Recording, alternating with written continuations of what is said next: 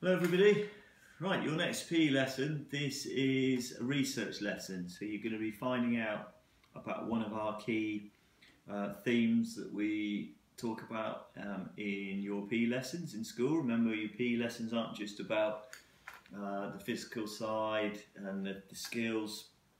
We teach you about things that are going to help you um, as you grow up and in later life.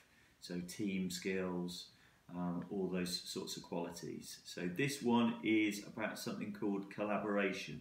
So working together with other people. So this is a massive thing. If you if you can learn to do this well, then um, you're going to be successful in your life, regardless of what qualifications uh, you get over the, the coming years.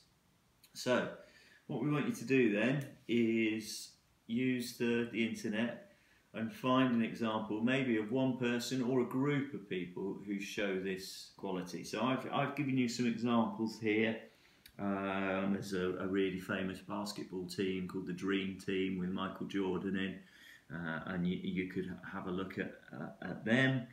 Or you could maybe do, um, I've got the Apollo 11 landings or the, the Normandy landings, D-Day.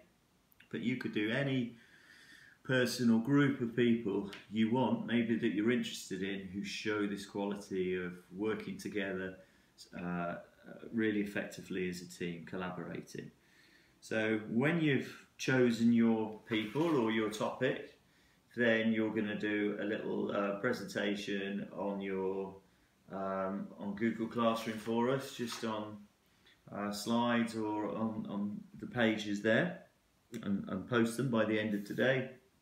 So I've put some suggestions here, but you don't need to include all of those. Picture would be really good. Key uh, influences, so maybe the reasons behind uh, them learning to be, or how they, how they, prior to this this time when they became really good at collaborating, maybe what happened in their past which which helped them. Um, and then you've got some reflections on yourself, really. So maybe how you show uh, collaboration and teamwork in your in your life at the moment. And then the last uh, point there is an interesting one: what you could do to develop this further in your in your life. Not don't just think about PE. Think about um, you know at, at, home and in in all aspects of your of your life at present. So I hope you find it interesting.